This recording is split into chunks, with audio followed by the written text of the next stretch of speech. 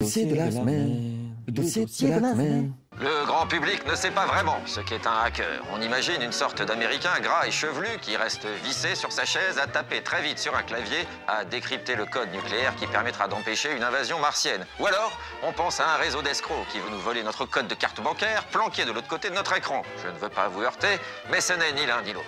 Explication. En 1986, les responsables informatiques de l'Université de Berkeley, en Californie, découvrirent une erreur de 75 cents dans la comptabilité liée à l'utilisation de leur superordinateur. Au terme de plusieurs mois d'enquête, ils parvinrent à remonter la piste de cette erreur et à démontrer qu'il s'agissait de hackers allemands payés par le KGB soviétique pour espionner les ordinateurs de l'OTAN. L'affaire ne fut jamais vraiment élucidée. Le corps de l'un des principaux protagonistes de l'affaire, un hacker de 24 ans, fut retrouvé brûlé dans une forêt. La police conclua à un suicide. Elle n'en eut pas moins un retentissement mondial et incita la DST, le service de contre-espionnage français, à créer le premier groupe français de hackers au début des années 1990. L'opération d'infiltration fut rapidement éventée et incita tous les hackers français à se cacher, histoire d'échapper à la DST. Les hackers n'ayant plus personne pour les défendre, ni les représenter, les médias eurent beau jeu de les assimiler à des pirates informatiques. Un peu comme si l'on qualifiait tous les serruriers de voleurs, sous prétexte qu'ils sont capables d'ouvrir quasiment toutes les portes et serrures.